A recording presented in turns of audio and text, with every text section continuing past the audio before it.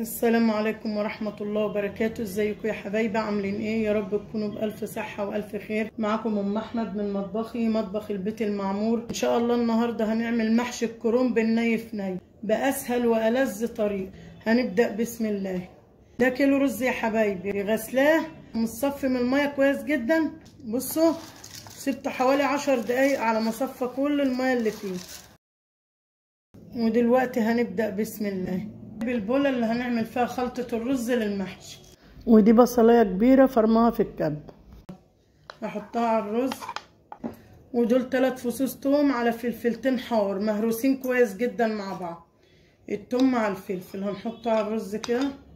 ودي التوابل معلقة فلفل أسمر معلقة كمون معلقة كزبرة ناشفة معلقة مرقة دجاج من اللي هي السايبة. كل التوابل بمعلقة صغيرة مهرمة. نحطها كده على الرز.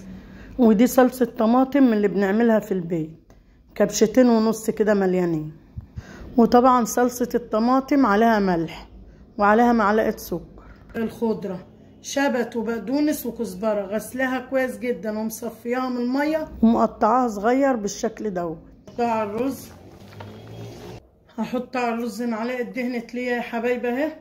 لو ما عندكوش دهنة ليا حطوا حتة زبدة فرنة أي زبدة لو ما فيش زبدة كفاية الزيت.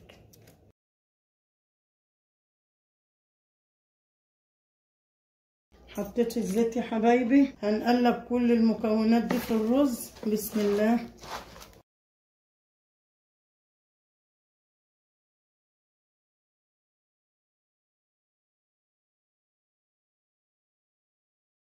قلبت كل حاجة في الرز أهو يا حبايبي. دلوقتي بقى هنشوف هنعمل إيه.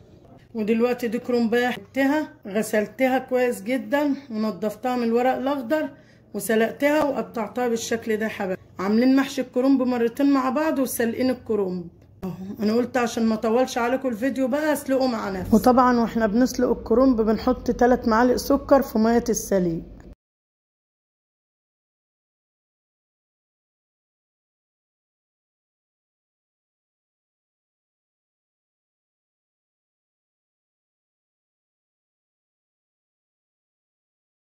أهم حاجة ما يبقاش صباع المحشي عليه رز من بره. على حسب ما أنتوا بتحبوا بقى الرز بتاعه كتير قليل.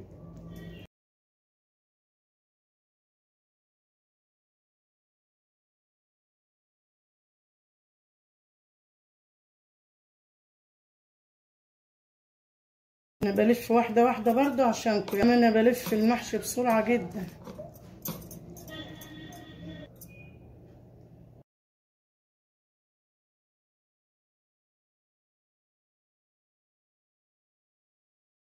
دلوقتي يا حبايبي خلصت المحشي اهو.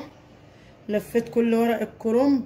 انما في اخواتنا العرب بيقولوا عليه الملفوف. خلصنا الملفوف اهو يا حبايبي وهنرصه في الحلة. أنا كنت بحشي واحط في السيرفيس عشان الكاميرا ما كانتش هتجيب الحلة وأنا برص فيها المحشي. ودي يا حبايبي الحلة اللي هنحط فيها المحشي اهو. هنجيب الاخضر ده الأول. اهو يا حبايبي هنرصه كده في الحلة.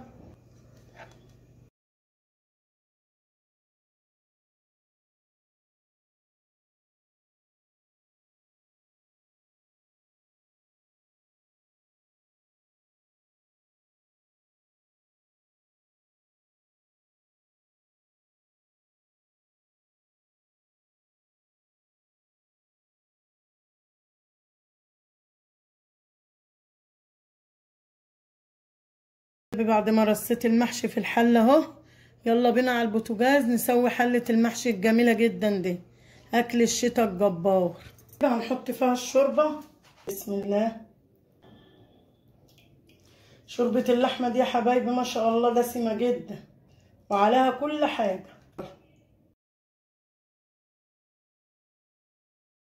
لازم نهز حلة المحشي كده يا حبايبي عشان الشوربة تتوزع فيها كلها.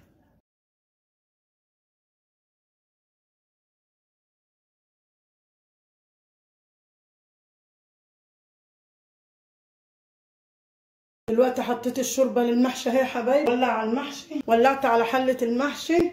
هغطيها بقى يا حبايبي تستوي وارجع لكم. المحشي اتشرب كل الشوربة اللي حطيناها اهي.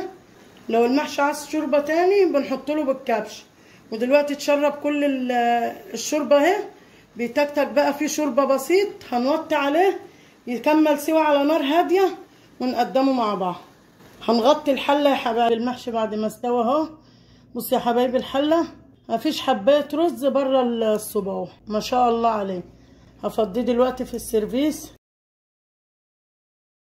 نهز الحلة كده قبل ما نفضيه.